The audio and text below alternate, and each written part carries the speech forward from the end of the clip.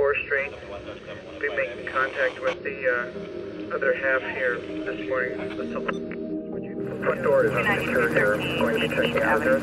Someone that's really injured and, and they're bleeding. There's blood all over. A lot of people say I want to get involved in, in this work that you do. Uh, I don't think you do. He said, I want to do good for the people that the bad hurt.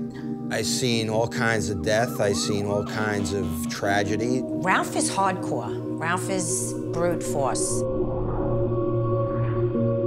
I would consider him very brave because it is very scary and it's unsafe. I'm a demonologist, and I am going head to head with the devil. I've assisted at over 20 exorcisms.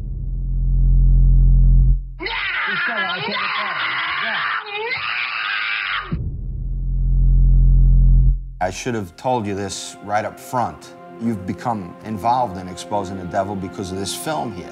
There's only one way to really combat that, and you already know what that is. And that's strictly up to you.